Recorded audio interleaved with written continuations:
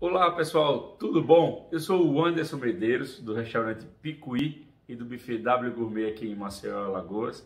Queria primeiramente agradecer ao Jundaiugo pelo convite para participar aí do Festival das Tulhas e, e, parabenizar também a toda a equipe aí do festival pelo belíssimo trabalho ao longo dos anos. Esse ano a gente está fazendo essa edição online, mas eu tenho certeza que no ano que vem vai ser um festival maravilhoso e presencial aí no Maranhão. Pois é, eu vim aqui para contar um pouco da nossa história, né, a minha história como cozinheiro, que ela se confunde também com a história aí do Picuí, do restaurante Picuí, que já tem 31 anos. Na verdade, eu vim, venho de uma família de produtores de carne de sol. O meu bisavô começou a fazer carne de sol lá em Picuí, no interior da Paraíba, é, por volta de 1889, ou seja, há cerca de 131 anos. Por coincidência, o meu pai decidiu abrir o restaurante Picuí, é, aqui em Maceió, no ano de 1989. Ou seja, 100 anos depois que meu bisavô começou a fazer carne de sol, coincidentemente, meu pai abriu o restaurante Picuí. E aí ali começou essa nossa história, é, mais propriamente dita, com a gastronomia. Né? Um restaurante tradicional, de uma cozinha tradicional, muito regional, onde forte, né, é a utilização de né, carne de sol, queijo coalho, manteiga de garrafa, rapadura, queijo manteiga, as farinhas e por aí vai. E, e ao longo dos anos foi sempre assim. E por volta de 2001 eu comecei a cozinhar e aí comecei a dar os meus toques ali na cozinha, é, não só né, enfatizando cada vez mais a gastronomia é, bem tradicional do Picuí, mas também valorizando outros ingredientes que não estavam presentes no nosso trabalho e no nosso cardápio. É, e por que isso? Na verdade, quando eu comecei a cozinhar, não era bacana fazer é, comida brasileira, ingrediente local. Isso para as pessoas isso não tinha é, charme, isso não era atrativo, isso não era o mais bacana, o mais legal, o mais moderno. Por volta de 2006 a 2007 que os grandes chefes começaram a levantar essa bandeira e as pessoas começaram a valorizar isso ainda mais. Mas o porquê que eu comecei a utilizar ingredientes regionais? Primeiro, sou autodidata, então aprendi tudo né, da curiosidade com as panelas, não só com a família, mas nas pesquisas, é, nos livros, nos filmes, nas TVs, nas viagens. E, e os ingredientes que eu tinha à mão, que eu tinha né, próximos a mim, que eu tinha acesso, eram justamente esses ingredientes, ingredientes regionais. Então, muita carne de sol, muito queijo coalho, muita rapadura, muito mel de engenho, é, muito queijo manteiga, os frutos do mar que a gente tem, graças a Deus, aqui também em abundância, os ingredientes que são muito utilizados no, no sertão, e aí das frutas. A gente tinha né, o caju, o cajá, fruta-pão e por aí vai. Então, o que parecia não ser uma cozinha muito rica, é, por utilizar ingredientes que eram da região naquela época, se mostrou sim né, uma cozinha riquíssima. Por quê?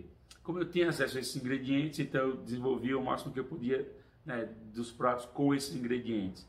E o mais bacana é que ah, desde o início a gente batizou em 2007 mais ou menos isso como nova cozinha nordestina. É, é um termo que a gente usou para explicar para as pessoas que era nada mais do que o ingrediente regional apresentado de uma maneira diferente, né? com uma apresentação diferente, com uma, uma cara diferente, com uma certa delicadeza, mas não fugindo né, ali as raízes da tradição né, das preparações ou do modo de preparar os ingredientes. Óbvio que com a aplicação de algumas técnicas é, mais desenvolvidas a esses ingredientes para extrair o máximo de, né, de sabor, de aparência e deixar ele ainda mais mais bacana, mais charmoso, mais saboroso, mas foi um trabalho ali de pesquisa também muito profundo, junto a produtores, desenvolver produtores, desenvolver produtos, ter acesso a isso. E, e foi muito bacana porque ah, eu consegui sim colocar isso também no Picuí.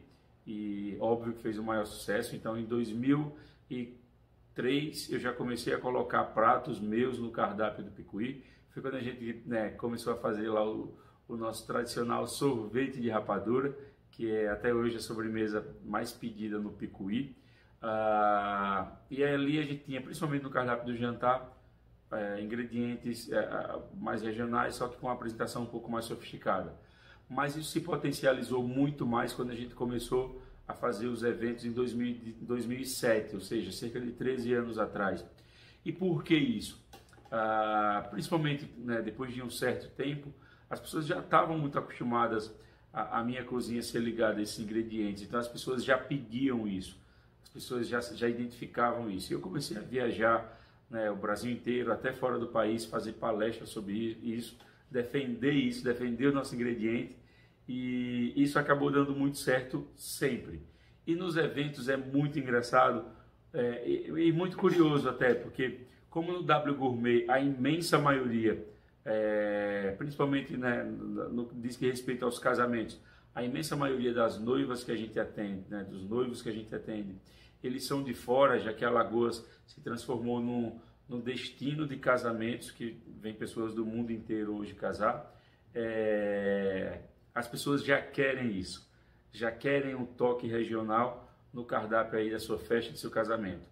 Se a pessoa saiu de um grande centro para casar na beira da praia, óbvio que ela quer os ingredientes regionais. Então o sururu está sempre presente, a carne de sol muito, as natas, é, muito, muito queijo manteiga, muito queijo coalho. É, e isso acaba dando um charme, muito leite de coco e por aí vai. Isso acaba dando um charme para o cardápio, porque ele se torna totalmente diferente do que as pessoas estão acostumadas, do que as pessoas estão habituadas. E isso vem dando tão certo, tão certo, que cada vez mais as pessoas que me procuram, elas já sabem o conceito dessa cozinha e elas já me procuram exatamente por isso. Então, eu confesso que sou um, um, um felizardo de poder fazer a cozinha que eu acredito, a cozinha que, que eu torço que dê muito certo, uma cozinha que já deu muito certo. Cada vez mais a gente tem é, os cozinheiros no Brasil entenderam que fazer uma comida com ingrediente local, com uma característica local, isso era o mais bacana. A gente aprendeu isso talvez com os europeus. E, e hoje em dia a defesa dos ingredientes regionais ela já é natural, as pessoas já, já fazem isso e, e o cliente já consome isso.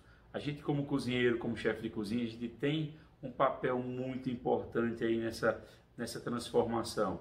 A gente é um agente de, de transformação nesse quesito. Então, a gente pode sim ajudar muito ao produtor local, a gente pode sim utilizar muito o produto local eu não tenho dúvidas de que isso nunca mais vai mudar. E quando eu vejo, cada vez que surge um cozinheiro novo, né, levantando essa bandeira e fazendo isso, é, eu me encho de alegrias e tenho certeza que cada vez mais a gente está no caminho certo. Então, eu queria mais uma vez agradecer aí pelo convite, é, agradecer e parabenizar todos os chefes que estão participando aí dessa edição e espero estar com vocês aí no ano que vem, voltar para o Maranhão por esses sabores incríveis, maravilhosos e únicos que vocês têm aí. Um beijo grande, tchau, tchau!